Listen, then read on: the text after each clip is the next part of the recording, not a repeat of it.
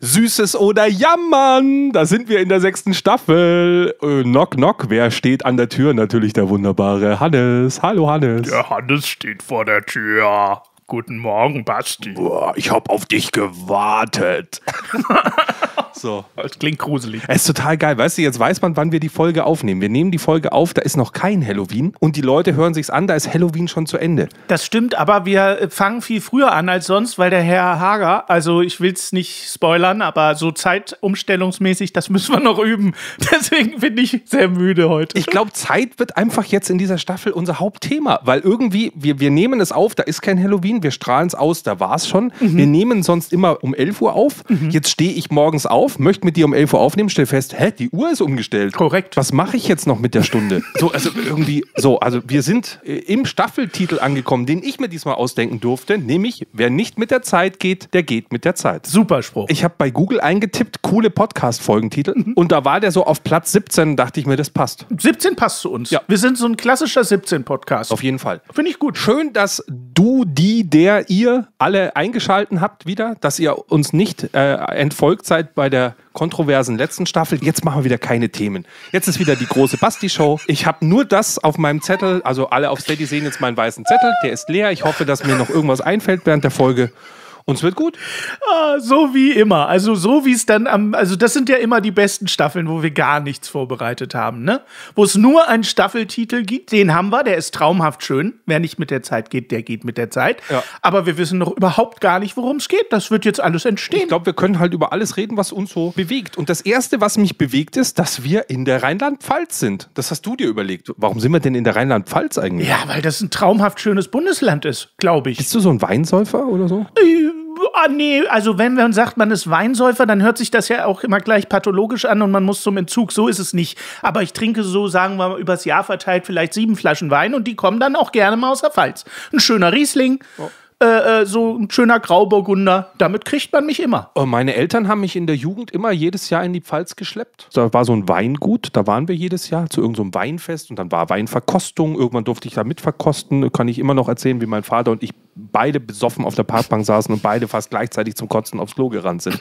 Da wusste ich, jetzt bin ich erwachsen. Ach du lieber Himmel. Aber nachdem ich Weißwein, Rotwein, Rosé, Sekt und dann irgendwelche Sherrys probiert hatte, irgendwie 80 verschiedene Flaschen wurden auf den Tisch kredenzt, da bist du halt dann auch durch. Also so viel kannst du auch da nicht nur, nur einen kleinen Schluck oder ausspucken. Nee, ich war hackestramm. Aber was, wenn du Wein trinkst, was ist denn dein Favorit? Ist das eher der rote, schwere oder ist es eher der süßliche, weiße? Äh, beides nicht, lustigerweise. Beides nicht? Beides beides nicht. Also ich bin ein sodbrandgefährdeter Mensch. Okay. Also Sekt ist das Schlimmste, was ich trinken kann. Das ist noch nicht mal an der Speiseröhre angekommen. Da möchte es schon wieder raus, so nach dem Motto. Ich habe da echt Probleme oh. bei gewissen Sachen. Okay. Also ich trinke selten Wein. Wenn ich mir einen Wein aussuchen kann, dann ist es eher so ein ganz leichter, trockener Sommerweißwein. Sowas mag ich. Weißt du, so ein. Ach so, ja. So ein ganz leichter Wein, wo, wo du, der schon fast wie Wasser aussieht, schön ja, kalt. Ja, ja, Am besten ein Wein, okay. wo du einen Eiswürfel reinschmeißen kannst und ihn nicht versaust. Ja, okay. So, dann trinke ich dir gern auch einen Wein, der hat dann aber wenig mit dem äh, gemein, was der Weinkonnoisseur halt toll findet. Da sind keine tollen Schwebstoffe, da machst du nicht.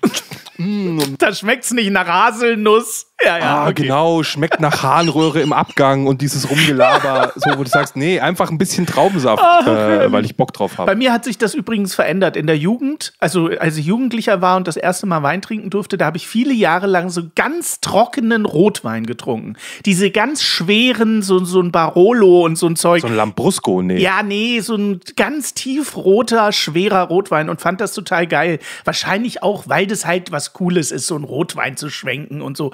Und dann, als ich wirklich Wein aus Genuss getrunken habe, bin ich äh, umgeschwenkt zu Weißwein. Ich trinke inzwischen überhaupt keinen Rotwein mehr. Das ist mir zu schwer, zu trocken, zu. Ach, Rotwein auch ganz selten. Auch Glühwein oder sowas, Sangria, also alles, was man noch aus Wein machen kann, interessiert mich nicht. Glühwein äh, im Winter, das schon mal. Aber ich bin eher beim Weißwein, beim gekühlten Weißwein angekommen, komischerweise. Ja. Also ich brauche auch was, was man schön auf der Terrasse trinken kann. Äh, weil wir gerade beim Saufen sind, ich muss es leider erzählen, ich weiß, uns läuft schon wieder die Zeit davon. Ja. Aber ich habe gestern wieder einen alkoholfreien Gin Tonic getrunken getrunken. Bin ja inzwischen so ein Fan davon, den auch alkoholfrei zu trinken. Ja. Und ich habe einen schönen The Duke, bisschen Schleichwerbung, weil der kommt aus München, The Duke Gin getrunken, alkoholfrei. Mhm. Ein tolles Produkt, mega teuer, dafür, dass da nichts drin ist. Aber der schmeckt nach Zimt, der Gin. Okay. Was super spannend Ja. ist. Also jetzt im Winter einen Zimt-Gin Tonic. Äh, mega. Also das hat mich total abgeholt, dieser, dieser Zimtgeschmack. Zimt, ein bisschen Orangenzeste und so. Oh, toll. Also ich bin ehrlich, bei Gin ist es bei mir wie beim Pilz. Ich verstehe nicht, wie Leute sowas saufen können und lecker finden können. Ich verstehe es nicht. Gin, ich habe Gin probiert, ich finde das widerlich. Ich habe Pilz probiert, ich finde das widerlich. Ich weiß nicht, wie Leute sowas saufen können und das auch noch lecker finden können. Ich weiß nicht warum. Aber man sagt psychologisch, pass auf, man sagt, es gibt Studien, dass Leute, die gerne bitter trinken und essen, Stichwort Tonic und so, die gerne bitter trinken und essen, eine große Wahrscheinlichkeit haben, Psychopathen zu sein. Denk da einfach mal drüber nach, Basti. Einfach mal sacken lassen. Also ich habe hier auch eine Studie vorbereitet und die sagt, wenn man in einem Podcast nicht in den ersten fünf Minuten das Intro spielt, schalten die Leute aus. Deswegen habe ich mir überlegt, diese schlechte Überleitung jetzt zu machen und hau unser Intro raus und dann geht's wirklich los. Hau raus das bittere Intro. Früher waren die Röcke länger und die Haare ebenso. Früher war auch mehr Lametta, jammern auf niedrigem Niveau. Damals hieß das Tricks noch Rider, Lemon Tree im Radio. Han Solo hat zuerst geschossen, ja Jammern auf niedrigem Niveau. Ja, Mann. Ja, Mann.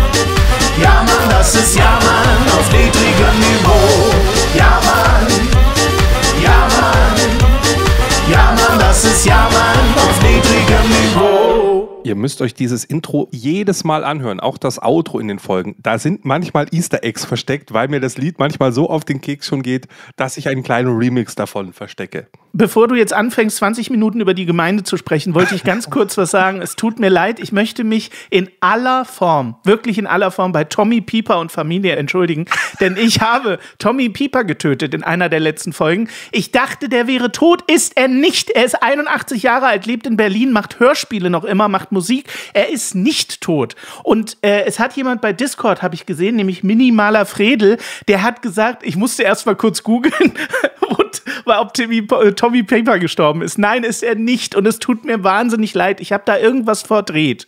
Ich möchte also, bevor die, bevor die Klage kommt, möchte ich mich schon in aller Form, ich möchte wirklich in aller Form um Entschuldigung bitten. Also, Grüße an den minimalen Fredel, der das auf Ja. Discord äh, geschrieben hat. Ich wollte Ja. dich jetzt auch mit diesem Fanbrief konfrontieren. Ich habe so, es im. Vorfeld nicht geschickt extra, Okay. weil ähm, wir waren ja in der letzten Folge auch so beim Rumcanceln und so weiter und du hast einfach Tommy Pieper gecancelt. Ich habe einfach Tommy Pieper gecancelt. Die Steady-Leute wissen es. Wir erzählen hier manchmal Mist. Ich erzähle, wie viel Milliarden Ja. Euro die Funkgruppe zur Verfügung hat, um ihre Formate zu machen. Was aber nicht stimmt, es sind nur 20 Millionen, habe ich mich verguckt um ein paar Nullen.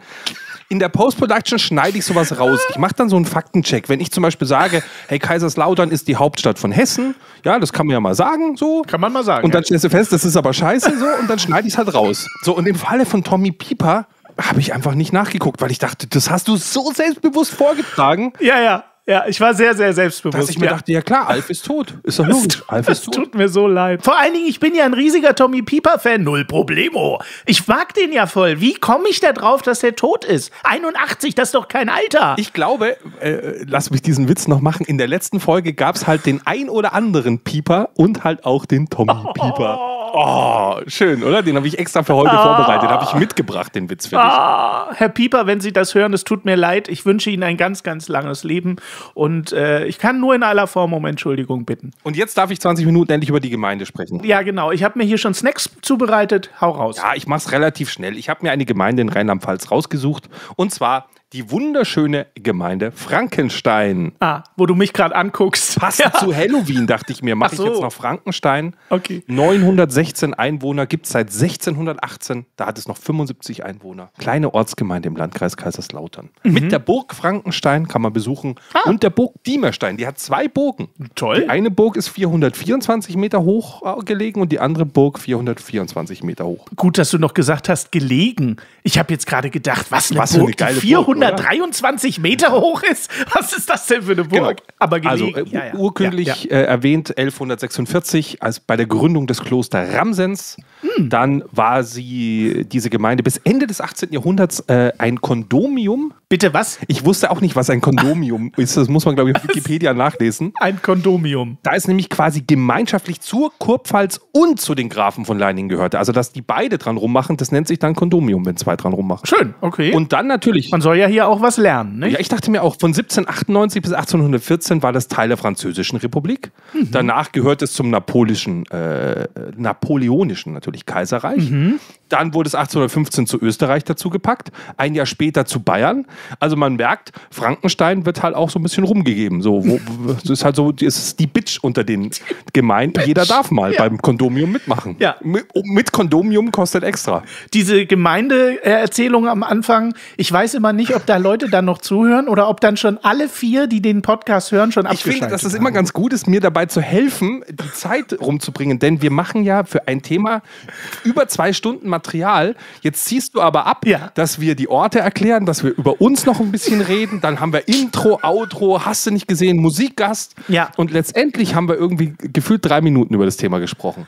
Ja, das stimmt. Dann gehen uns auch die Themen nie aus. Das ist der Vorteil. Ja, aber äh, meistens ist es ja so, wenn wir kein Thema haben oder keine Ahnung, was wir über das Thema sprechen äh, sollen, so wie jetzt, dann sind das ja meistens die besten Folgen. Ja, ich weiß. Und da wäre es ja schade, wenn man dann über das Thema gar nicht spricht. Also dann versuchen wir zum Thema zu kommen. Also wer nicht mit der Zeit geht, der geht mit der Zeit. Das ist ja so, ich habe mir das mal hingeschmissen, weil ich mir dachte, da können wir über vieles reden und ich dachte mir so zum Einstieg, Ja. für mich bedeutet das ja so ein bisschen, es ist ja dieses Fortschrittsverweigern steckt da so ein bisschen drin. Also weißt du, du möchtest dich verweigern, Ja. dem Fortschritt mitzumachen. Das ist ein bisschen wie unser Thema, dass wir halt sagen, früher war mehr Lametta. Und du sagst, ja, aber willst du, dass alles wieder so ist wie früher? Also ist das so dein Thema? Wie sieht es denn bei dir aus? Bist du so ein Fortschrittshasser oder liebst du eigentlich Fortschritt und Technik oder gibt es da Unterschiede? Wie, wie, sieht es bei dir aus? Wie bei vielen Themen bin ich da sehr äh, ambivalent unterwegs, muss ich sagen. Ich bin sehr interessiert an Zukunftsthemen, vor allen Dingen so erneuerbare Energien und ähm, Mobilitätswende und so. Also Ich finde das wahnsinnig spannend, wo wir hingehen, wie wir uns entwickeln, was Zukunft für uns ist. Ich meine, wenn du ganz ehrlich bist, was haben wir in unseren, ich sag's jetzt wie es ist, ich bin schon 42, in unseren 42 Jahren, was haben wir technologisch schon für Wenden erlebt? Das ist ja absolut krank. Ne? Als ich klein war, Basti, da habe ich in eine große schwarz-weiße Bildröhre geguckt und Sandmännchen geschaut in schwarz-weiß im Osten. Und heute habe ich dann 185 Zoll Farbdisplay im Wohnzimmer hängen. Das ist doch krank. Also alleine, was wir technologisch erlebt haben in 42 oder 41 Jahren, ist ja schon absolut abgefahren. Das ist die positive Seite. Negative Seite, natürlich bin ich ein Globalisierungs- Feind. Ich glaube, dass uns die Globalisierung noch äh, katastrophal um die Ohren fliegt und das ja jetzt auch schon tut. Also ich bin so ein bisschen beidseitig unterwegs. Du wärst jemand, der in England äh, an der Regierung wäre und auch sagen würde, wir müssen mehr englischen Käse essen und nicht Käse importieren. Ja, wenn man es jetzt so ja runterbricht, schon irgendwie. Ja, die Globalisierung hat nicht nur Vorteile, sondern sie hat vor allen Dingen unglaublich viele Nachteile. Und wenn du überlegst, dass jedes Kleinstkabel um die halbe Welt fliegt, um dann bei dir von einem Amazon-Boten vor die Tür gelegt zu werden, dann ist das schon eine Entwicklung, die ich jetzt nicht so geil finde, muss ich sagen. Nicht, also nicht nur aus dem Umweltaspekt, sondern auch aus dieser komischen Abhängigkeit und dieser Absurdität zu sagen, irgendwo in Bangladesch sitzt jetzt jemand, der Genau. macht für mich eine Ware, Richtig. weil, weil wir zu blöd oder zu fein uns geworden sind, dass wir das selber herstellen. Früher bist du zum Schuster, zum Bäcker, zum Dingsbums. Äh, inzwischen gehst du äh, nicht mal mehr in den Supermarkt, sondern bestellst bei Amazon im Warenkorb. Na, ich äh, weiß gar nicht, ob das zu fein ist, sondern wir, wir sind einfach nicht mehr bereit, für die Sachen viel Geld auszugeben. Ja, oder für wenig Geld zu arbeiten in, in Europa, das muss man halt auch sagen. Ganz Also ich genau. meine, nichts gegen Mindestlohn und so weiter ist ja alles okay, aber der Kunde ist nicht bereit, den Preis zu bezahlen Genau. und keiner ist bereit, aber günstiger herzustellen in Europa. Ja, ja, klar. Und äh, äh, im Übrigen nehme ich mich da ja selbst nicht aus. Wenn ich für ein Handykabel ein Handykabel 10 Euro bezahlen muss, dann fasse ich mir natürlich an den Kopf, weil ich denke, sag mal, das sind ein paar Drähte mit einem Stecker dran. Habt ihr einen an der Für Pfanne? meinen neuen Popschutz hier 15 Euro. Für ein Genau. Stück Schaumgummi, was auch aus China kommt, Richtig. 15 fucking Euro. Genau. So, und dann bin ich natürlich auch so einer, der dann sagt, warte mal ganz kurz, was kostet denn das in China? Vom Band direkt. Ah, okay, da kriege ich das Handykabel für 20 Cent inklusive Versand. Ja, dann hole ich es doch da. Also ich nehme mich da überhaupt gar nicht aus. Ich kritisiere das und äh, befeuere aber den Markt natürlich natürlich selbst durchaus auch. Und ich bestelle auch bei Amazon. Da bin ich aber dabei. Also für mich ist das ja auch so, da kann man dem Kunden aus meiner Sicht immer sehr wenig Vorwurf machen. Es wird immer sehr gern auf den Kunden abgeschoben im Sinne von, ja, du musst halt überlegen, ob du Bio kaufst, nachhaltig bist und so weiter. Genau. Das ist mir aber immer zu einfach. Das sind für mich Leute, wo ich sage, aber es war doch eigentlich euer Job, euch drum zu kümmern. Also sprich zum Beispiel, liebe Regierung, wenn ihr den Steuersatz für Obst verändert im Vergleich zu Fleisch, kriegt ihr die Leute automatisch dazu, mehr Obst zu essen. Genau. Wenn ihr das aber nicht tut, weil ihr die Wirtschaft schützen wollt, dann sagt nicht, der Verbraucher soll hier gefälligst gut einkaufen, weil ihr habt schon mal gesagt, der Markt regelt und damit passiert genau das, dass wir eigentlich in die falsche Richtung laufen. Wir werden weiterhin die Umwelt verschmutzen, wir werden Klimaziele nicht einhalten, weil der Markt im Normalfall äh, in die andere Richtung läuft. Das Ja. ist für mich eine Vorgabe des Gesetzgebers und da wird halt sehr häufig einfach gepennt. Richtig? Oder absichtlich nicht reagiert. Moral muss man sich halt auch leisten können. Das ist so. Als ich äh, aufs Land gezogen bin, aus der Stadt kommend, da war mein ganz großer Vorsatz, Basti, ich werde jetzt nur noch biologisch einkaufen und werde nur noch im Nachbardorf beim Bio, äh, bla und Sülz. Das habe ich genau einen Monat gemacht, dann war ich am äh, 25. pleite. Aber richtig pleite, da hatte ich gar nichts mehr zu essen. Und dann habe ich gesagt, okay, das ist völliger Quatsch, ich kann mir das überhaupt nicht erlauben. Und dann bin ich weiter äh, in den Supermarkt gegangen und habe mir da durchaus auch mal Billigfleisch aus der Theke geholt. Also Frankreich ist da übrigens ein gutes Beispiel. Ich war in Frankreich, weil da mein Vater lebt und bin dort in einen Discounter gegangen. Ich glaube, es war Aldi, ich bin mir nicht mehr ganz sicher. Und dort gab es überhaupt kein Billigfleisch. Es war einfach nicht da. Die hatten dort ein Kühlregal bei Aldi in Frankreich und dort war nur hochpreisiges Fleisch drin. Der Verbraucher hatte nicht die Möglichkeit, Billigfleisch zu kaufen, weil man in Frankreich dort einen höheren Standard hat und sagt, es gibt bei uns kein Billigfleisch. Punkt. Es gibt einfach keins. Du hast die Wahl nicht. Also, wenn du Fleisch essen willst, dann musst du halt sparen oder was auch immer. Du kannst nicht das 70 Cent Met mitnehmen. So, und das finde ich halt geil, weil es nicht die Verantwortung des äh, Verbrauchers ist aus meiner Sicht. Der wird sich immer für das billige Fleisch entscheiden, wenn sein Kontostand nicht mehr hergibt. Natürlich wird er das. Wir haben das ja schon mal thematisiert, da sind wir wieder im, Genau. in den Allmann-Themen, aber der Mensch ist sich selbst da halt auch die, der Nächste, wenn man sagt, die sollen sich selber regulieren, ja cool, dann brauche ich ja auch keine Geschwindigkeitsbegrenzung, keine Parkverbote, weil ich werde ja, ich, ich halte mich ja an Gesetze. Richtig. Nee, wir brauchen halt Gesetze, damit es einen Rahmen gibt, an den du dich halten kannst. Ja. Und wenn Bio nicht anders präsentiert, gefördert oder auch was anderes abgewertet wird, dann wird der Kunde halt im Zweifelsfalle immer den einfachsten Weg gehen und der ist im Zweifelsfalle bei Amazon bestellen, was am nächsten Tag da ist oder Billigware im Discounter kaufen. Das Richtig. ist halt der einfachste Weg. Auf jeden Fall. Und wir beschweren uns über die Amerikaner, die bei der Schulspeisung immer nur Pommes essen. Gleichzeitig, äh, ich krieg's ja hier dann wieder mit. Ja, aber das Mittagsmenü in der Schule, das ist aber schon teuer mit 2,30 Euro so pro Kind. Und so weiter, wo du sagst, Überleg mal. weil ein Happy Meal 1,75 kostet oder was? Weißt du, also, wo du echt sagst, hey, äh, Ja. welche Erwartungen habt ihr? Klar sind das dann 15 Euro die Woche. Das sind auf einmal 60 Euro im Monat. Wo du sagst, boah, mein Kind, das frisst mir die Haare vom Kopf. Und du sagst, ja, und was stopfst du zu Hause in das Kind rein?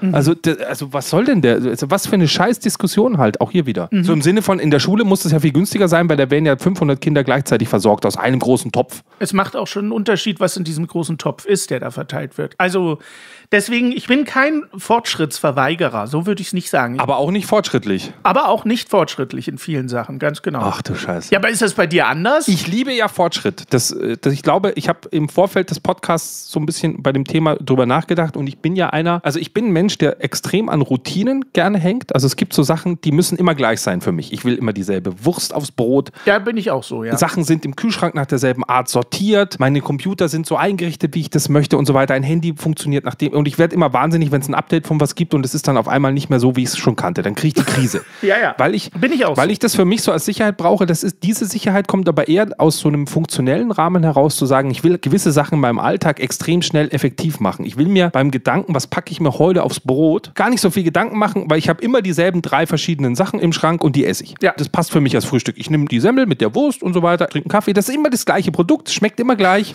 passt. Keine Gedanken machen. Und gleichzeitig liebe ich halt Veränderungen an vielen Stellen. Ja. Das alte Thema, ab der dritten Folge macht mir irgendwas keinen Spaß mehr und dann ändere ich Genau. Sachen. Beruflich versuche ich immer wieder was Neues zu machen und nicht immer, immer wieder das Gleiche hochzukauen. Und da liebe ich durchaus auch zu sagen, was ist denn der neueste Scheiß? Also ich bin kein Fan davon, Ich habe das jetzt auch die letzten Tage wieder erlebt, als ich aus dieser ganzen Brettspielszene, diese ganzen Creator mal ein bisschen durchgeguckt bin und mir wieder festgestellt habe, hä, die machen alle irgendwie das Gleiche und jeder hat irgendwie teilweise beim anderen kopiert. Ist mir eigentlich fast zu langweilig. Also für mich ist es langweilig zu gucken, hey, oh, Stefan Raab hat eine tolle Show gemacht, das tolle Turmspringen. Ich mache jetzt auch eine tolle Show und nenne sie das tolle Bockspringen so wo ich sage, hä, aber ich mache dieselbe Show, die es vor 10 oder 15 Jahren schon mal gab. Gibt es nicht auch was Innovatives? Kann man nicht was anderes machen? Mhm. Und verbringe sehr viel Zeit, mir da Gedanken zu machen und mir was einfällt, was eben einem anderen noch nicht eingefallen ist. Ohne dass es dann vielleicht besser ist, sondern einfach nur, hey, cool, ist es was anderes, cool, lass das mal ausprobieren. Mhm. Da bin ich so ein bisschen festgegangen. Und ich bin da nochmal drüber gestolpert. Ich weiß, dass du ein Fan davon bist und deswegen stelle ich dir jetzt einfach die Frage, wie findest du das Reboot von RTL Samstagnacht, was gelaufen ist? Hast du es gesehen? Königlich. Du findest es königlich? Ja, ich finde es sensationell. Ich fand fand, sie haben das ganz toll umgesetzt, weil sie zum einen die ja, Nostalgiker irgendwie eingefangen haben. Sie haben aber halt auch irgendwie gezeigt, unfreiwillig wahrscheinlich, guck mal, wie war der Humor in den 90ern? Ähm, und ich finde auch, sie haben es schön geregelt mit dem Fehlen von Mirko Nonchev. Es war jetzt nicht eine hundertprozentige Trauerfolge, aber man hat sich so ein paar Momente genommen, wo man an äh, Mirko erinnert hat. Und ich fand, das war ein gut, also es hätte deutlich schlechter ausgehen können. Ich hab, war doch überrascht, dass es ziemlich gut gelaufen ist muss ich sagen. Aber ja, äh, und jetzt kommt aber die zweite Frage, das ist ganz gut. Ich habe es übrigens nicht gesehen, ich kenne mhm. nur Ausschnitte davon. Mhm. Ähm, ich habe aber ein paar ganz schlechte Kritiken drüber gelesen. Okay. Aber passt ja, Kritiken sind immer schlecht, Klar. gerne.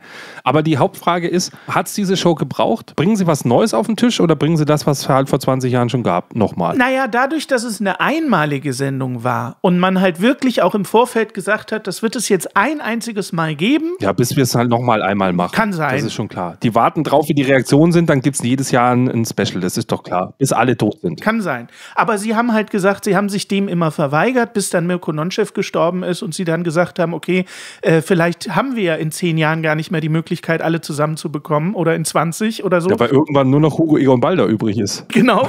Äh, und dann machen wir es jetzt einfach doch mal. Und weil das eine einmalige Geschichte, momentan eine einmalige Geschichte ist, fand ich es toll. Hätte man das jetzt wöchentlich gemacht und quasi RTL Samstagnacht wiedergeholt, vielleicht würde ich dann anders darüber denken. Andererseits bin ich schon ein Freund von diesen Reboots, äh, obwohl ich es eigentlich, wie du sagst, auch blöd finde. Man soll lieber neu entwickeln und nicht das alte ähm, zurückholen.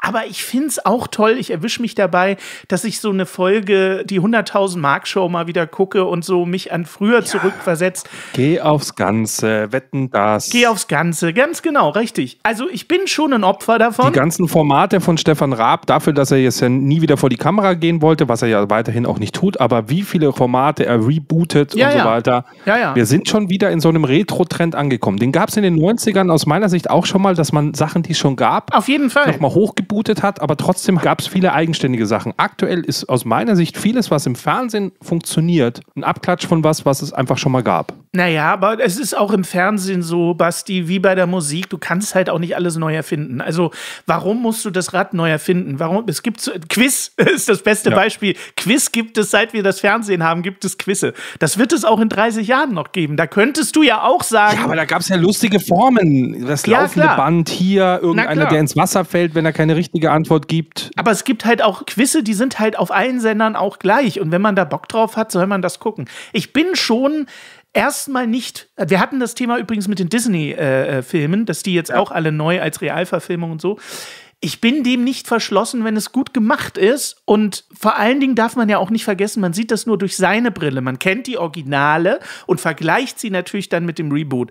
Es gibt aber auch genug Leute, die dieses Original überhaupt nicht kennen und quasi nur das Reboot äh, sehen. Ich habe mir jetzt auf Netflix äh, im Westen nichts Neues angeguckt, eine Neuverfilmung äh, des Buches von 1929. Ich habe natürlich das Original gesehen, also die, die Verfilmung von irgendwie aus den 30er Jahren oder aus den 20er Jahren, diese Schwarz-Weiß-Verfilmung. Ich finde es erstmal super, dass man so einen Stoff auch in die Neuzeit holt, mit richtigem Ton, mit richtigem Bild. Für die Leute, die den Stoff heute sehen wollen, die wollen halt keinen Schwarz-Weiß-Film aus den 30ern sehen, das kann ich total nachvollziehen.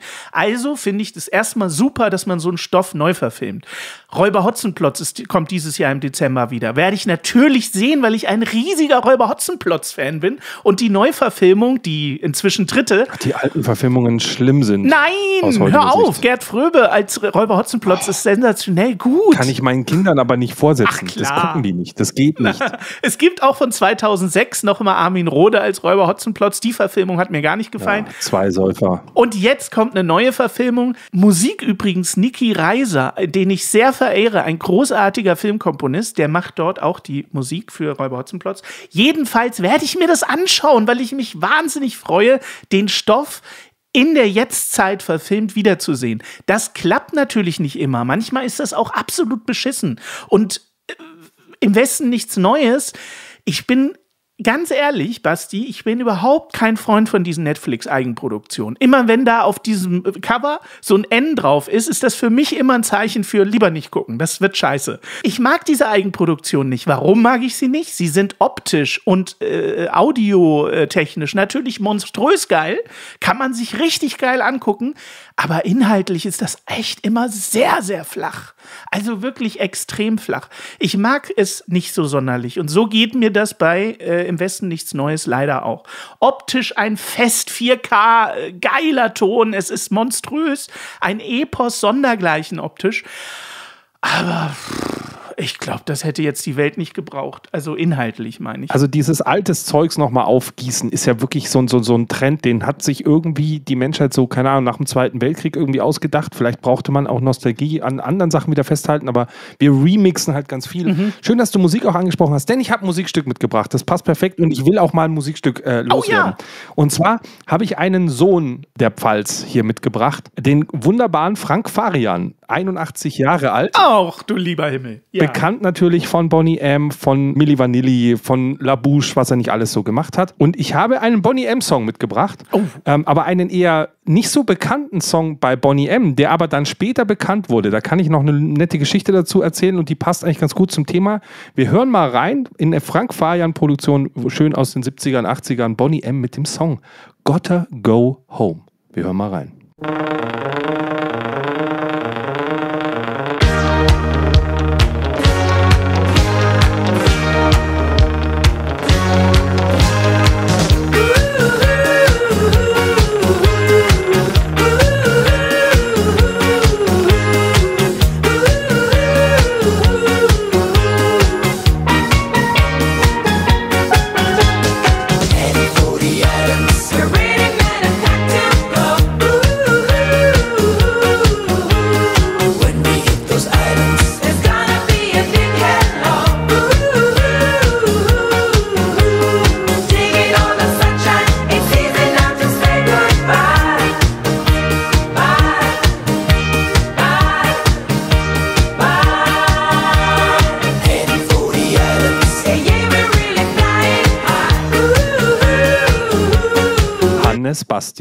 Achso, Barbara Streisand wäre jetzt eigentlich gekommen. Das geht einem ja nicht mehr aus dem Ohr, dieser, dieser Riff. Krasser Ohrwurm, oder? Alter Schwede. War bei Bonnie M selber gar nicht so der große Hit und dann kam diese Barbara Streisand-Version da irgendwie vor zehn Jahren Ja. auf einmal ums Eck. Barbara Streisand. Und Geil. äh, die haben am Sound gar nicht viel verändern müssen, weil der Sound eh schon Bombe war. Das Ding ruft da wie Hölle. Ja, mit so Soul-Funk kannst du mich auch immer vorm Ofen vorholen. Ja, und ich habe es mitgebracht, weil ich habe den wunderbaren Frank Farian damals vor zehn Jahren, als das ein Hit war, äh, auch äh, gesehen. Nämlich ähm, die Sony BMG hat da jedes Jahr irgendwie so ein Fest geschmissen. Da waren halt Leute eingeladen und bei, da haben sie halt neue Songs vorgestellt. Da ist auch teilweise, ja, Alicia Keys war da auch mal und hat da live performt und so. Also so, ein- so ein, die haben es halt krachen lassen. Sie haben halt die Kohle ausgegeben. Ich, heute machen sie es wahrscheinlich nicht mehr. Und auf einmal war auf dieser Bühne dieser Song. Und wir standen vielleicht 20 Meter von Frank Farian entfernt, der da im Publikum stand, als dieser Song da oben lief. Und den Gesichtsausdruck, den kann ich nicht nachmachen. Der hatte ein Honigkuchen-Pferd-Gesicht auf, weil er in diesem Augenblick mit Sicherheit gedacht hat, cool, ich kaufe mir nochmal irgendwo eine Eigentumswohnung und vielleicht noch einen zweiten Sportwagen. Ja. Danke Sony, dass ihr die Ja. alten Samples, die B-Seiten von Bonnie M jetzt zur A-Seite gemacht habt. Gelddruckmaschine. Und da kommt ein Film übrigens. Die Milli Vanilli Story ist verfilmt worden. Nein. Matthias Schweighöfer spielt Frank Farian Ach du Scheiße. und das Ganze als internationale Produktion angelegt, weil Mini Vanilli ja damals mit dem Skandal, sie singen nicht selber, ja den Grammy zurückgeben mussten. Das heißt, das ist ein Biopic aus Deutschland heraus, was aber international gehen wird. Ich bin super gespannt. Aber Schweighöfer als Fang. Ah, okay. Hey, du musst dir die Fotos, also alle, die jetzt auch zuhören, googelt mal die Fotos von der Produktion. So habt ihr Schweighöfer noch nie gesehen, mit langen, fettigen Haaren vor einem Mischpult sitzen. Oh nein! Es ist sensationell. Okay. Er macht jetzt Method Acting. Also Biopic Biopic bin ich voll dabei. Ich liebe Biopics, aber wenn ich höre, Schweighöfer spielt Fabian, äh, Fa, äh, Fabian, habe ich schon ein bisschen Angst, ehrlich gesagt. Aber wer nicht mit der Zeit geht, der geht mit der So. Zeit. Darum geht es so ein So. bisschen. Hier, der Frank Farian hat zeitlose Mucke gemacht. Ich habe großen Respekt vor dem, was er gemacht hat. Richtig gute Hits dabei, selber teilweise gesungen in der Mangelung von Möglichkeiten. Ganz am Anfang, ich habe mir seine alten Schlagersachen auch reingezogen, die er gemacht hat vor Bonnie M. Fürchterlich, aber egal, so lernst du halt. Und das ist halt geil, weißt du, da bist du 81 und deine Mucke ist immer noch da, Leute remixen das. Ähm, also das kann schon irgendwie, Mhm. das ist diese Unsterblichkeit, die du dann durch Musik oder Kunst erlangen kannst, dass du das auch weitergibst, dass andere Leute es aufgreifen, sich inspiriert fühlen davon. Ja, ja. Und dann geht das doch mit der Zeit, obwohl der Song halt mal vor 40 Jahren aufgenommen war und sich nicht mehr verändert. Ja, also äh, bei Musik ist es ja auch so, wenn man da alte Sachen wieder zurückholt. Ich habe mich am äh, vergangenen Freitag auch so ein bisschen amüsiert, weil äh, ich höre ja bei Spotify gibt es ja diesen Release-Radar, den ich immer freitags sehr gerne höre, äh, wo dann halt der Algorithmus dir sagt, welche Neuerscheinungen dir gefallen könnten. Und was kommt da? Ein äh, neuer Mix der Beatles von einem uralten Beatles-Stück. Steht dann Scheiße. dahinter Mix 2022 und ich hatte meine äh, Tochter im Auto, die ja bekennender Beatles-Fan auch ist und sie sagte, hä, Papa, das verstehe ich nicht, wieso gibt es da jetzt einen Mix 2022? Und dann habe ich versucht, ihr das zu erklären und äh, wir haben uns dann so geeinigt, dass ich gesagt habe, naja, vielleicht versucht man damit auch die Musik der 60er Jahre immer mal so alle 10, 20 Jahre neu abzumischen, um halt auch zu hören, wie würden die Beatles heute klingen, so ungefähr. Keine Ahnung, es klang natürlich geil, äh, Mix 2022. Ich weiß den Song gerade gar nicht mehr. Aber ja, ich würde mich dem nicht grundsätzlich versperren. Ja, Let It Be ist da so ein großes Beispiel. Also Leute, die heute Let It Be hören, hören in aller Regel immer den Remix. Ja. Weil Let It Be war noch eine Monoproduktion, die würdest du aus heutiger Sicht nicht unbedingt hören wollen. Und sie haben die, als dann Stereo da war, noch mit den Beatles gemeinsam als Stereo-Version nochmal hochgearbeitet. Und damals als Stereo kam, haben sie gesagt, jetzt klingt Musik klingt immer jetzt so naked, war ihr Wort damals. Okay. Weil halt, vorher kommt alles aus einem Lautsprecher, ist halt alles laut, alles bumm und jetzt fliegt alles so umeinander. Floating like Chagall waren so Zitate. Sagst, jetzt zerfällt mir meine Musik. Das war mal so kompakt, jetzt ist es alles so groß, das will ich gar nicht. Ja. So war es nicht gedacht. Und dann haben sie halt Let It Be in einer Naked-Version gemacht. Haben sie es damals bezeichnet, das ist die Stereo-Version. Ja, aber ist das schlecht? Nee, erstmal ja nicht. Also, weißt du, ich tue mich da schwer zu sagen, äh, so Reboots oder so neue Erscheinungen in alt. Du, wenn es im Sinne des Künstlers passiert, du hast das letzte Mal gesagt, das Werk des Künstlers darfst du nicht mehr verändern. Aber weißt du, da hat dann halt ein Künstler ein Bild gemalt und jetzt muss man es vorm Verfall schützen, teilweise ja auch. Und da darf man dann schon mit dem Pinsel ein bisschen drüber gehen, wenn man einfach die Intention, den, die Intention, das ist das Wort, wenn man die Intention des Künstlers nicht verändert. Wenn man sagt, das ist ein zeitgenössisches Dokument, egal ob Musik, Bild, Text, was auch immer, aber wir müssen es halt erhalten, damit es halt auch für die nächsten Generationen möglich sind. Und dann musst du vielleicht auch mal Mittelhochdeutsch in eine neue Sprache umwandeln, damit man es immer noch lesen kann, weil sonst kann ich die Nibelungensage mir gar nicht genießen, weil ich lese sie und verstehe kein Wort. Aber du musst halt immer die Möglichkeit haben, deswegen bleiben wir ja auch bei dem Satz, äh, Kunst darf nicht verändert werden.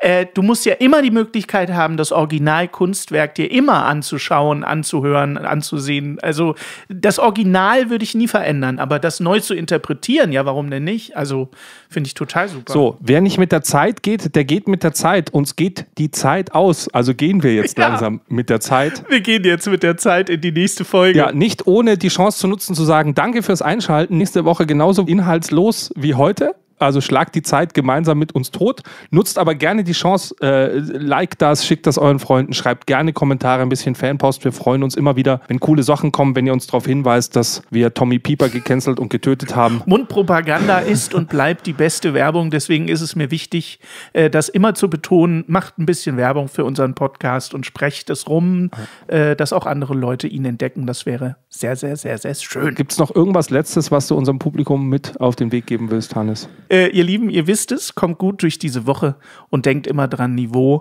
ist keine Creme. Ja, Mann, ja, Mann, ja, Mann, das ist Ja, Mann auf niedrigem Niveau.